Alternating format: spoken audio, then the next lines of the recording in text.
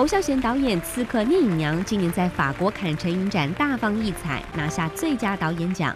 十五号在台北举行试映会，国内知名导演钮承泽、魏德胜、蔡岳勋也到场力挺，现场有如电影人的大聚会。《聂隐娘》获得国际影评高度肯定，但侯导也直言，台湾电影需要大家进场支持。呃，都来看吧，啊，让票房好一点，台湾电影才有机会啊。然后接下去，我这旁边的这三位导演就会再拍，然后呢，台湾电影就越来越好。所以需要观众鼓励，这是一定的。侯导指出，对他来说，演员这个元素是戏剧中最重要的。拍戏过程中，他希望演员都能在最佳的状态下自然发挥。我的拍戏方式是，不是那种排戏一直排，没有，没绝对没有排戏，不排。剧本看了，内容你们知道，然后灯都打好，镜头摆好，长长的拍。他们就进去了。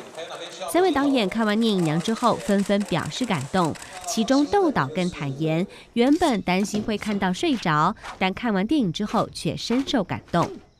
那我没有想到会有这么感动，尤其我很担心，其实我今天会睡着，因为昨天其实睡眠不太足，最近那个那个都比较晚睡晚起，然后我以前看他。电影就很容易睡着。我觉得我很多年很多年没有看到侯导拍电影，其实今天真的非常的期待。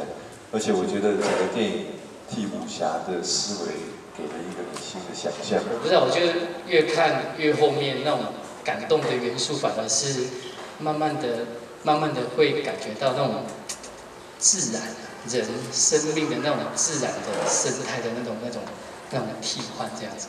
《聂隐娘》的成功也让侯孝贤表示，之后希望拍片速度再快一点，最好两年拍一部。装设记者裴真台北报道。